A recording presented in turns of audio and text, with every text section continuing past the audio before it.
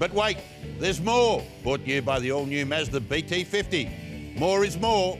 Welcome along to our Mazda BT50 wrap of the weekend in NRL, an abridged round because of State of Origin number two. And I don't know, how do you feel about it? There was no big three in Melbourne, no Farah, and of course that game. It's flat. I've, I've, I've got to be honest with you. Look, I'm a great rugby league fan, but I have an, an intense dislike for rugby league during this Origin period. Only because I think, like me, it dilutes the club teams well, it, so it much rubs the fans. You, it rubs you don't the know fans, what you're doing. It rubs the fans of the real fabric of what club tribal football. Is. So what should about. they do? Well, I think we should have just a complete hiatus during that Origin period, which is the showcase of rugby league, and let's promote it for what it is. But don't, in any shape or form, erode into club football, which is what really attracts the fans yeah, but you long don't, term. You don't want to give a free kick to the other sports for three weeks. Tigers defeated Melbourne. They're on a bit of a roll. They're now into the top four and looking very very, strong. Canberra over Newcastle. Pressure on your mate Wayne Bennett. I well, there's some serious questions Newcastle that tie. I know he'll buy him some time, but they are the disappointments of the of the year. There's no doubt about that. Given the fact that he had an open checkbook to recruit who he wanted to,